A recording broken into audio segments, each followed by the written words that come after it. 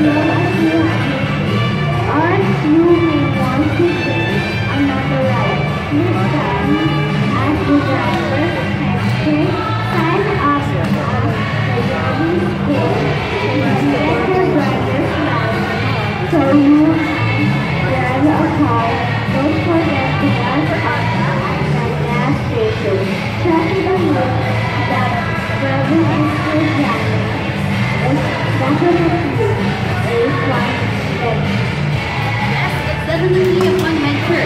But if you cannot drive just yet, you can still work with cars at the car design institute. Or at the Victor Training Center, where you can train with a replica of a super sporting car. And in case you get hungry, just assemble the whole thing for your Okay, now here to your left is the establishment where lives are saved by our team of doctors and nurses. There you can choose from the baby care training center, the operating room,